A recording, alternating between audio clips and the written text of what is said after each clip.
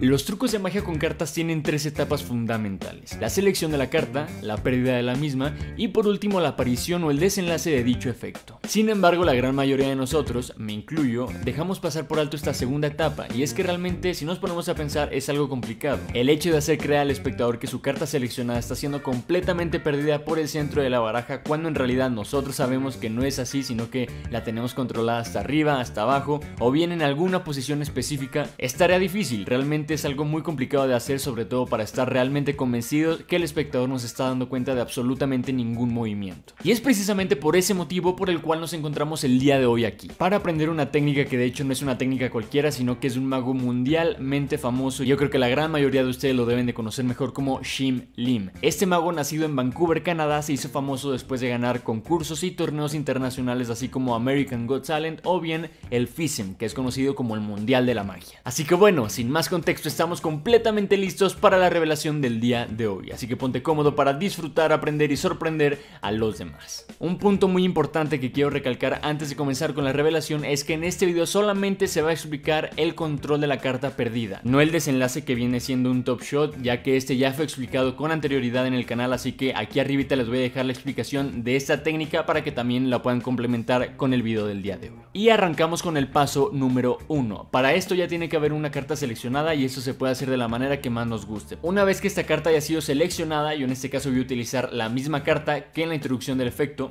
lo que vamos a hacer es llevar la carta hacia enfrente para que el espectador o bien el público se centre únicamente en la carta seleccionada. Una vez hecho esto, lo que vamos a hacer es girar la carta un poco hacia atrás para que se nos facilite la manera y sea un poco más cómodo para nosotros el colocar la carta por el centro de la baraja. Y mucho ojo aquí, les voy a hacer una recomendación que en lo personal me sirvió bastante. Si es la primera vez que lo hacen, no lo pongan completamente en el centro, sino digamos en un tercio o bien en un cuarto de la baraja. Como pueden ver, aquí estamos utilizando una parte muy pequeña de la baraja, lo voy a poner así enfocado para que lo puedan ver, ya que de esta manera se nos va a facilitar muchísimo el aprender la técnica y llevarla a cabo una tras otra tras otra. Y ya conforme vayan avanzando y les vaya saliendo más natural, agreguen un poco más de cartas y más de cartas hasta llegar a un punto aproximadamente a la mitad para que el espectador no sospeche de absolutamente nada. Así que primero, no en el centro, sino un tercio de la baraja aproximadamente por aquí. Y lo que vamos a hacer es lo siguiente, y yo creo que en otro ángulo se va a ver mucho más claro.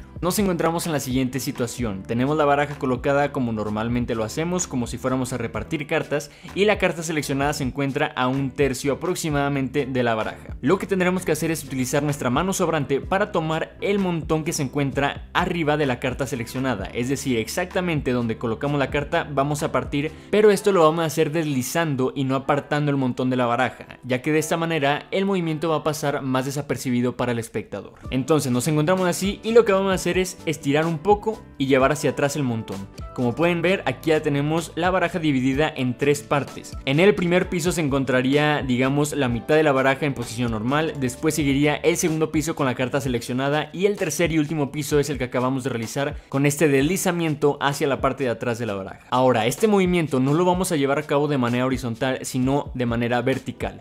Y esto se tiene que sumar con la naturalidad que le pongamos al momento de enseñar que la carta se encuentra en el centro de la baraja.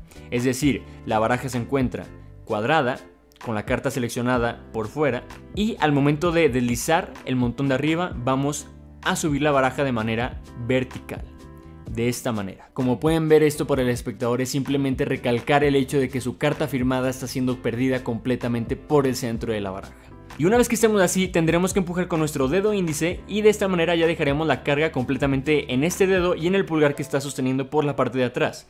Ahora con los demás dedos podemos ayudarnos para levantar un poco en ángulo y meter la primer carta de este montón por debajo de la carta seleccionada. Una vez que metemos esta carta, automáticamente todo el montón queda dentro de la carta y ya podemos bajar de manera natural empujando la carta hacia atrás. Estos pasos que les acabo de mencionar tienen que ser realizados aproximadamente o bien como máximo en 5 segundos. Es una situación muy rápida en la cual el espectador no tiene que sospechar nada, entonces tiene que ser algo muy natural. Lo voy a repetir una vez más para que quede todavía más claro. Enseñamos la carta del espectador, giramos, colocamos en un tercio de la baraja, enseñamos, bajamos, empujamos y recogemos la carta del espectador. Y aquí si tenemos ya bien perfeccionada la técnica, la tenemos bien practicada, va a pasar esto, una carta del centro o bien un montón pequeño de la baraja va a salir y esto va a ser todavía mejor para nosotros ya que esto va a representar la carta del espectador. No es como que solamente se esté perdiendo, sino que pareciera que la carta sigue estando un poco asomada y ya nada más quedaría cuadrar la baraja y hasta podríamos entregársela al espectador o bien dejarla encima de la mesa. También voy a hacer los movimientos muy drásticos y digamos muy exagerados para que ustedes puedan darse cuenta de lo que está pasando en todo momento detrás de la baraja. Tomamos la carta del espectador, la colocamos a un tercio de la baraja y mientras levantamos separamos el primer montón de la baraja. De esta manera, como pueden ver ahí se ve por debajo. Al momento que hacemos esto, regresamos de manera horizontal mientras empujamos con el dedo índice y traemos la carta hacia atrás. Cuadramos y ya estamos listos para terminar con el efecto. Como pueden ver no es algo complicado, con un par de veces que lo practiquemos lo vamos a poder tal vez no dominar del todo, pero sí vamos a tener ya la idea clave. Ya para dominar la técnica del todo, lo que tendremos que tener en cuenta será los movimientos que tenemos que hacer, que tenga el timing perfecto al momento de subir y al momento de bajar, al igual que la coreografía que nuestros dedos índice y medio van a tener para meter el montón y para regresar la carta, que en este caso sería la carta elegida. Ya saben que otra recomendación muy común para todos estos efectos es que se coloquen enfrente del espejo y lo hagan una y otra vez. Yo en este caso les voy a decir que primero lo practiquen ustedes solos viendo la baraja no vean el espejo. Primero tienen que conocer el punto exacto en donde la carta se tiene que meter, en donde la carta tiene que regresar, en donde tienes que subir y tienes que bajar. Y para eso lo más importante es que tus ojos primero se enfoquen en la parte de atrás, ya que es donde se genera todo el mecanismo de la técnica, no tanto en la presentación, sino en el mecanismo que tienes que realizar. Ya una vez que conozcas la técnica, el timing y la manera en la que trabaja la técnica, ahora sí ponte enfrente del espejo, practícalo una, dos, tres, las veces que sea necesario y por último quedaría completar el desenlace o bien meterle una rutina, algún efecto de magia para compartirlo con tus amigos, con tu familia y con el resto del mundo. Espero que realmente les haya gustado esta técnica y si fue así no duden en ponerlo en práctica y sorprender a la mayor cantidad de personas que puedan. Por favor no olvides dejar un like, compartir, suscribirte, activar la campanita y dejar un comentario ya sea si tienes alguna idea para un nuevo video o bien si quieres aprender una técnica, un efecto o lo que sea. Ya saben que cualquier comentario es muy bienvenido aquí. Recuerden que todo esto lo hago para que ustedes sorprendan al mundo entero y bueno, sin más que decir nos vemos con un truco nuevo. Bye.